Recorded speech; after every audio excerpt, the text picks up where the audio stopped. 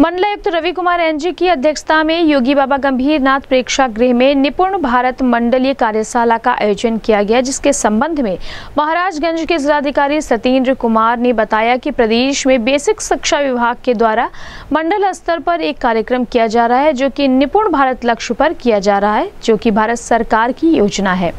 2026 तक सभी बच्चों को निपुण बनाना है, जिसके लिए कार्यशाला आयोजित की जा रही है। अध्यापकों को बताया जा रहा है कि किस तरह विद्यालय में बच्चों को पढ़ाकर निपुण बना सकते हैं। इस अवसर पर सीडीओ महाराजगंज गौरव सिंह सोगरवाल, बीएसए रामेंद्र सिंह सहित अन्य अधिकारी मौजूद रहे। इस संबंध में गोरखपुर न्यूज़ से बात करते हुए जिलाधिकारी महाराजगंज सत्येंद्र कुमार ने कहा, एक टीचर थे और उनके पास उनके पाँच विद्यार्थी थे, जो पाँचों पांडव थे। सबके अंदर उनकी अपनी अलग अलग दक्षताएँ थी। तो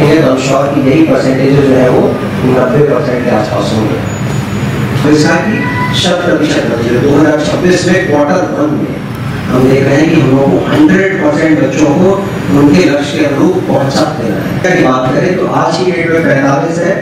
हमें क्वार्टर थ्री सितंबर सितंबर दो हज़ार बाईस में हम लोगों को इस पैंतालीस को बढ़ा के उनचास करना है। क्वार्टर फोर में वो बावन परसेंट चार चार पाँच पाँच दो दो तीन तीन परसेंट बढ़ाते बढ़ाते हम लोगों को दो हज़ार छब्बीस तक सौ परसेंट तक पहुँचना है केवल टारगेट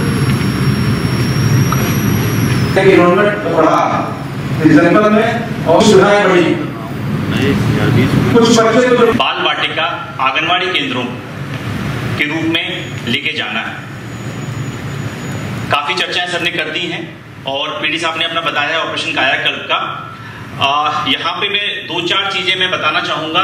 प्रेजेंटेशन है, बाकी प्रेजेंटेशन में काफ़ी हमने डेटा रखा है। पर दो चार चीज़ें जो हमने एक्सपीरियंस किया पिछले डेढ़ साल के अंदर जो कायाकल्प में जो हमें चुनौतियाँ आई और जो जो हमें फीडबैक मिले हमारे टीचर से, हमारे स्टूडेंट से, हमारे अभिभावकों से, हमारे वीडियो से, वो मैं शेयर करना चाहूँगा आपके साथ, ताकि हमें लगता है कि एक्सपीरियंस शेयर करेंगे तो हमें जो अभी आंगनबाड़ी और विद्यालय जो रह गए हैं, उसको कैसे कर पाए। तो सबसे पहले हमने देखा कि हम जब हम कायाकल्प की बात करते हैं तो दो इश्यूज़ हमेशा आते हैं बेसिक शिक्षा और पंचायती राज डिपार्टमेंट का कोऑर्डिनेशन तो उसके लिए जैसे हम जैसे डीएम सर की अध्यक्षता में डीएम सर के मार्गदर्शन में हम लोग काम करते हैं, लेकिन ग्राउंड लेवल पे अभी भी ये इश्यूज़ बड़े पर्टेनिंग होते हैं। बेसिक शिक्षा मतलब पंचायती राज में कहते हैं कि टीचर्स की रिस्पॉन्सिबिलिटी होती है कि एक बार हमने कुछ बना दिया फ़िज़िकल इंफ्रास्ट्रक्चर तो उसको मेंटेन करें। और बेसिक शिक्षा में हमारे टीचर्स का ये कहना है कि प्रधान और सचिव जो होते हैं, वो मेंटेन नहीं करते, एक बार बना के चले जाते हैं। तो हमें ग्राउंड लेवल पे इस चीज़ को, जो हम डिस्ट्रिक्ट पे या ब्लॉक पे, जो हमारा कोऑर्डिनेशन है एबीएसएस और बीडीओस का, और जो बीएसएस और सीडीओस का, वो ग्राम पंचायत लेवल तक उसको पहुंचाना है। अभी भी इसमें थोड़ी सी कमी है उसको हमें आइडेंटिफाई करना है और दोनों को एक टेबल पर बिठा के इस चीज़ को हमें सॉर्ट आउट करना है। एक ये एक्सपीरियंस था आज भी हमें ये मिलता है। दूसरा आंगनवाड़ी केंद्रों का कायाकल्प अभी हमने महाराजगंज में आ, सर के निर्देशन में हम लगभग 800 से अधिक हमारे आंगनवाड़ी केंद्र हैं जिसमें से एक सौ सत्तानवे आंगनबाड़ी केंद्रों पे कायाकल्प का काम हो चुक, चालू चालू हो चुका है। लगभग 70 से अस्सी आंगनबाड़ी केंद्र हम कायाकल्प कर चुके हैं। कायाकल्प करने के बाद उसको स्कूल के साथ, जिस विद्यालय में हमारा आंगनबाड़ी केंद्र है, उस विद्यालय के साथ उसको हमें अटैच करना है। और जो जो चीज़ें स्कूल के लेवल पे है, वो उनको बतानी है। और सेंस ऑफ़ ओनरशिप कि ये विद्यालय मेरा है। प्रधान के लिए भी सेक्रेटरी के लिए भी और हमारे उस हर शिक्षक के लिए जो शिक्षा जो उस विद्यालय में पढ़ाता है। तो सेंस ऑफ़ ओनरशिप एक बार जब जब डेवलप कर लेंगे तो मुझे लगता है ये छोटे जो छोटे मोटे जो इश्यूज़ रहते हैं वो सब खत्म हो जाएँगे। और ये जो लर्निंग आउटकम्स की बात कर रहे हैं सर ने जो पूरा निपुण भारत का आपको लेक्चर दिया पूरा बताया समझाया विस्तृत तौर पे तो वो हम तब डेवलप कर पाएँगे जब हमारे अंदर सेंस ऑफ़ ओनरशिप होगा। तो अभी जो आ, हमने एक निदेशालय से आया था कि हर अधिकारी को गोद लेने का, हर विद्यालय को गोद लेना है तो हमने कई सारे विद्यालयों को गोद लिया। हमने पहले ही बारह विद्यालय, हर ब्लॉक में हमने एक एक विद्यालय को ओन योर स्कूल, एक थीम बनाया, ओन योर स्कूल, आप अपने स्कूल को ओन करें। तो उस विद्यालय को हमने एक मॉडल विद्यालय की तरफ़ पे डेवलप कर रहे हैं।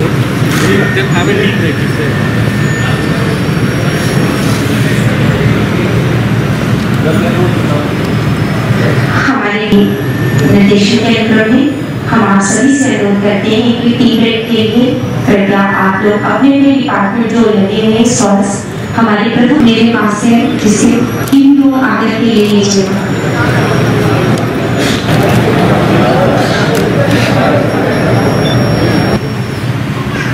वक्त कम होता है, मगर उस वक्त में हम लोगों को बहुत कुछ सीखना भी है। ये मंडलीय कार्यशाला है और इस मंडलीय कार्यशाला के बाद क्योंकि आप लोग आपकी अत्युमूल्य समय यहाँ बिता रहे हैं, यहाँ से हम लोग निकलने के बाद मेरे लाइफ में कोई बदलाव नहीं हुआ है, एक परसेंट फिर इतने टाइम यहाँ बैठने का कोई औचित्य नहीं। इसीलिए मैं जनरली एडी बेसिक साहब को और सभी को कहते रहता हूँ, जब भी हम लोग बुलाते हैं तीस लोगों का या पैंतीस लोगों का छोटा छोटा बैच बुला लीजिए, क्योंकि लोग कॉन्सेंट्रेट करके हम लोग जो भी कर रहे हैं, इसका सदुपयोग क्यों? क्यों हम लोगों को यहाँ बैठना चाहिए, एक दिन, पूरा दिन रहना चाहिए? आप लोग भी बहुत सुबह से बहुत लोगों का लेक्चर सुन सुन करके, क्योंकि एक लिमिट के बाद सुनने का भी टाइम निकल जाता है, ऊपर चलना शुरू हो जाता है। फिर हम लोगों को आजकल डिस्ट्रैक्शन भी बहुत ज़्यादा है कि हम लोग दूसरा चीज़ को देखना या बगल की बातें करते रहने में मज़ा आता है। शिक्षा बहुत इंपॉर्टेंट है।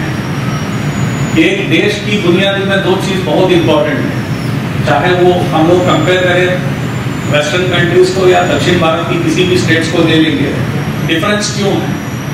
आप ही लोग, बहुत लोग जाते हैं, हमारा इंजीनियर्स डॉक्टर्स, जितने भी लोग जाते हैं, वो कहते हैं कि सर, हम आपके स्टेट में गए हुए थे, हमने देखा है सब बहुत अच्छा है।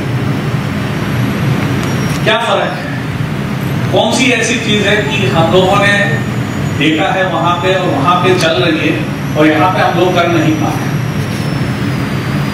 किसी भी स्टेट किसी भी जगह किसी भी प्रदेश, किसी भी जिला अच्छा करना है तो बहुत इंपॉर्टेंट अमूल्य चीज़ होता है। कि शिक्षा और स्वास्थ्य। ये दो चीज़ सुधर जाए। ये दो चीज़ सुधर जाए तो इस, उस प्रदेश की नक्शा ही बदल जाता है। ये दो चीज़ बहुत इंपॉर्टेंट है और ये इस देश की बुनियादी है। बहुत बार हम लोगों को लगता है, क्या फ़र्क पड़ता है? कि ठीक है साहब, ये बच्चे पढ़े ना पढ़े। ठीक है, हमारा बच्चा केवल पढ़ रहे हमारा बच्चा कौन सी स्कूल में चाहिए? हमारा बच्चा जाना चाहिए। अच्छे नॉर्मल स्कूल में जाना चाहिए एलएफएस में जाना चाहिए, इन्हीं चीज़ों में जाना चाहिए, और दूसरे के बच्चे, कोई बात नहीं सर पढ़े ना पढ़े। बट हम ये भूल जाते हैं, जो वहाँ बच्चा नहीं पढ़ रहा है, उसका इमोशनल क्वेश्चन नहीं है, वो कल क्या बनेगा और क्या आपकी बच्चा सुरक्षित रहेगा? हम ये भूल जाते हैं। कभी भी कितने भी क्राइम हुआ है, मैं तो बहुत साल से फ़ील्ड नहीं हूँ फ़ील्ड में बहुत जिला भी कर चुका हूँ। और ज़िले के बावजूद भी मैं जितने भी क्राइम चीज़ है, थाने से लेकर के, कप्तान से लेकर के सब लोगों से मेरा इंटरेक्शन होता था, मैं खुद देखता था। क्या इसमें शिक्षा का कोई महत्व नहीं है? बहुत है। हमारे लिए, हमारा आगे की पीढ़ी के लिए अच्छे प्रदेश छोड़ के जाना है, अच्छे जिला छोड़ के जाना है तो आप सबका दायित्व है। हम सबका दायित्व है। इसीलिए कृपया इसको अन्यथा ना लीजिए कि आप लोगों का सबका दायित्व है। यहाँ पे हर चीज़ क्राइम कंट्रोल करना है या एक बच्चे को अच्छी तरीके से इमोशनल पोषण मिलना है, ठीक है, वो बच्चा अच्छी तरीके से रहना है, उसको सोच समझ में आना चाहिए क्या गलत है, क्या सही है।